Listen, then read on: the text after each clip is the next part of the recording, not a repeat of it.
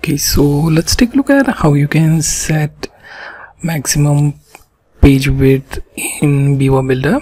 So by default you will find that 1100 pixel is the full width assigned to your beaver builder settings. So we will go to a page where we wish to increase this page width. Okay so let's open this sandbox page. Okay and let first Gutenberg editor to load and then we will move to beaver builder. Okay so launch beaver builder.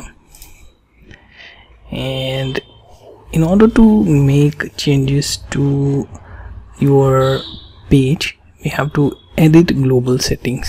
And you can find global settings from this beaver builder top bar which you see at the top.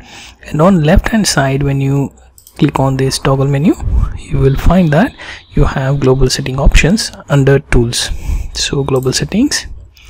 Now here in order to increase the width you will have to scroll to rows page. And here you see maximum width. Here you can change that to on 200 or higher depending on the reason why you wish to increase the width. You have to know that resolution. So let's say let's assume you are doing it for TV screen or bigger screen then you may have to go for 2400 or higher.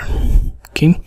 And then save that and it will apply globally to all pages. Considering this is global settings and we will try to save this for every the page that we have with WordPress.